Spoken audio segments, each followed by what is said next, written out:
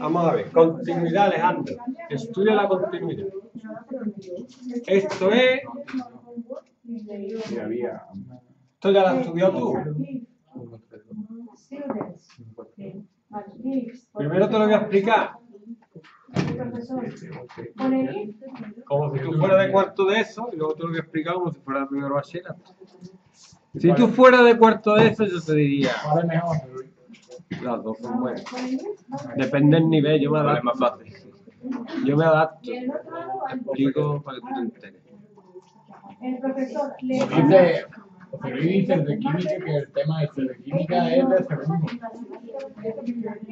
¿Segundo de qué? de bachillerato. Porque nunca lo habrá dado en primero.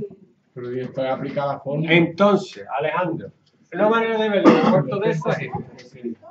Tú te haces una tabla, ¿no? Y lo partes en menos uno. ¿Ok? Y dibujas para acá menos x más 3. Y para acá x cuadrado más 3. ¿Ok? Te hace una tablita para dibujar.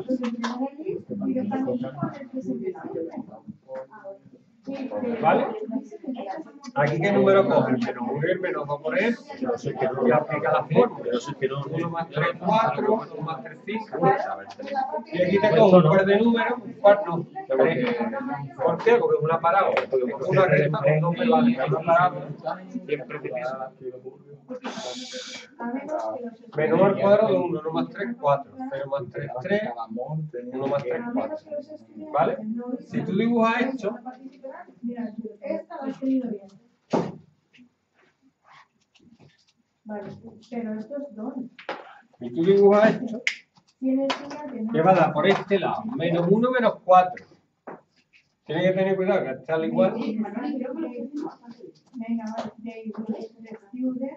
Menos 2, wait. 5. Espérate que lo estoy haciendo mal. ¿Ves? Que aquí no tienes que. Has cambiado el, orden de estas palabras. No tienes que cambiarlo, Ceci. Y ahora la otra parte es una recta. Si te fijas, menos 1, 4 también coincide por ahí. 0, 3, lo hará una sola vez. 1, 4. Esto lo tienes que repetir. ¿Es continua la función o no? Sí. Porque la puedo igual hacer levantar el boli del papel. ¿Cómo te ha quedado? si yo le ¡Sí, pongo el bachillerato! No puedo hacer eso. Y si yo le digo al maestro que es continua porque no levantó el boli el papá. Te dice, esta definición es la caca muy gorda. Esto es el- Te va a abrir la puerta y te va a decir, sal. Vete. Aprobado. No el- vuelvas. Tú en segundo, en privacidad lo tienes que poner. Límite. Cuando x tiende a menos 1 por la izquierda, límite. Cuando x tiende a menos 1 por la derecha y f de 1. Ya decía yo que era muy fácil. ¿Cómo se calcula? Sí, ya lo he hecho. f de 1 es sustituir el 1 aquí. Me da 2. Perdón. Sustituir menos 1, perdón. Me da 4. Cuatro. El límite por la izquierda es sustituirlo en la parte izquierda, 4. Y el límite por la derecha es sustituirlo por la derecha, 4. Como los tres son iguales, continuos. Aquí lo muestro gráficamente, viendo que por los dos lados coincide, y aquí analíticamente.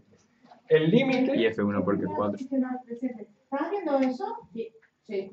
Porque tú sustituyes menos 1 aquí, te da menos 1, Por el tiempo. Sí, eso da. Menos menos 1, más 3 da 4. Y aquí por la derecha lo sustituye aquí. Pero divierta abajo del todo, F1. Aquí donde está el igual. Ah, ¿dónde está el igual? Sí. Entonces es continuo porque los tres son iguales. Como no son iguales, es discontinuo. O como diría una amiga mía, descontinuo.